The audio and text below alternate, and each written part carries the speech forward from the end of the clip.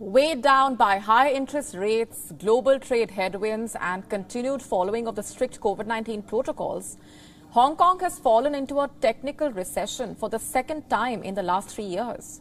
Its GDP has contracted 1.4% in the second quarter after a 3.9% decline in the GDP in the first quarter.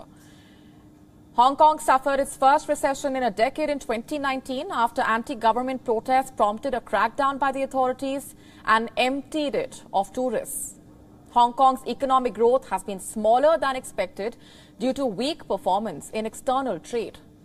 The continued disruptions from the COVID 19 lockdown measures to cross boundary land trade with the mainland has weighed heavily on Hong Kong's exports. Weakened global demand, the downturn is reversing last year's recovery when the economy enjoyed a 6.3% annual growth after the slowdown in 2019 and 2020. Following China's zero COVID policy, Hong Kong has been largely cut off from the rest of the world for more than two years. It still has some of the world's strictest restrictions, including week long quarantine for arrivals and a ban on group gatherings with more than four people. Reports recently said the government was mulling resuming quarantine free travel for overseas arrivals in November.